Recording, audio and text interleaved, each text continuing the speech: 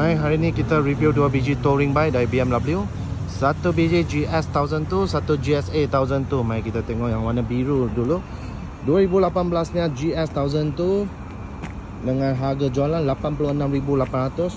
Siap ada aksesori tambahan Torotec dia semua. Torotec punya light guard, dia punya upper engine guard, lower engine guard dengan radiator cover dengan dua set spotlight dia sudah tambah.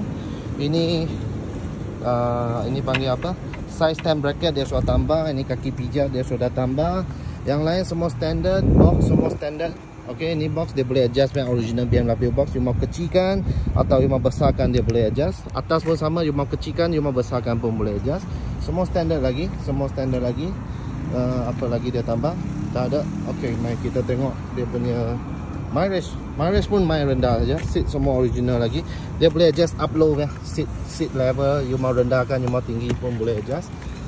Uh, balancer dia suruh tambah balancer ini dia punya kunci dia keyless punya lah dia pakai sensor saja ini spotlight spotlight dia switch ini windshield you boleh adjust up down you pusing sini saja pusing dia akan up down lah uh, you sendiri mau up down pun boleh mileage dia hari ni 15,999 memang low mileage original mileage ok apa lagi? Dia ada warmer dia ada mode ini start motor ABS dia punya absorber adjustable trip uh, signal horn. Horn more sekali. Okey cuba start tengok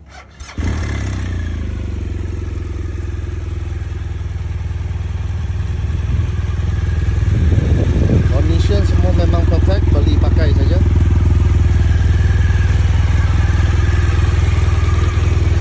nanti saya akan tahu apa beza GS dengan GS okay, kita ram tengok engine dulu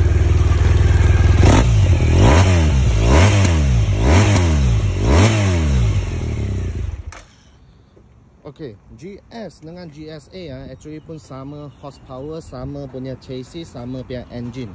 Okay, horsepower dua pun 125 punya 125 punya horsepower, tapi GS dia punya tangki kecil sikit, kemudian dia body ringan sikit. Dia punya berat lebih kurang 250, kemudian dia punya tangki 20 liter saja.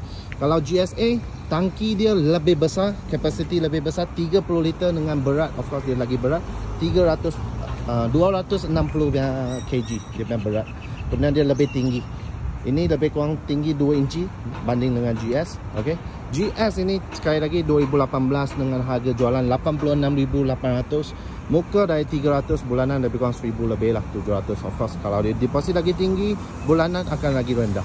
Kalau untuk GSA ini lagi murah asal lagi murah kerana dia tahun lama sikit 2017 85,800 Okey, tadi GS dia ada tambah aksesori tapi GSA kilang datang memang dia sudah siap ada spotlight, ada crash bar, ada upper lower crash bar macam ni. Ini memang standard kilang. Kemudian dia punya box datang memang besi punya.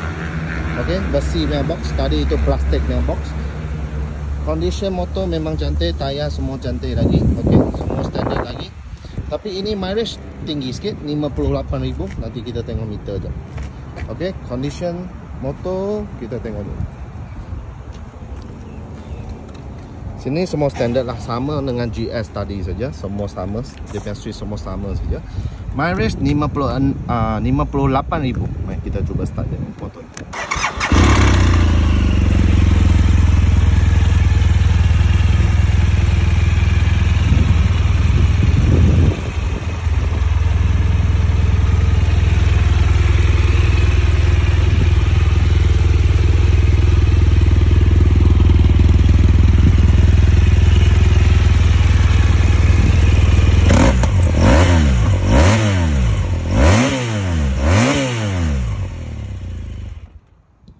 Engine semua pun cantik lagi. Mileage tinggi sikit tahun lagi sekali ini motor tahun 2017 85,800 untuk GSA 2017 ini biru punya 2018 dengan mileage yang main rendah.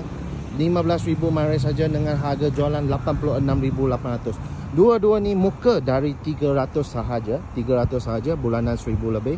Ok kalau yang mau trade in motor mau jual motor ke mau uh, loan ke semua kita boleh uruskan. Loan kita ada Aeon ada uh, loan kedai ada loan bank you mau credit card swap credit card easy pay pun no problem. Whatsapp saja sistem kita. Kalau you mau cari kecil sikit lain motor macam Versys ke Thousand ke apa apa motor pun boleh lah. Semua kita ada actually. You boleh whatsapp sales team kita. Kalau minat ok BMW ni atau lain motor biar boleh whatsapp sales team kita. Ok itu saja untuk hari ini thank you. Bye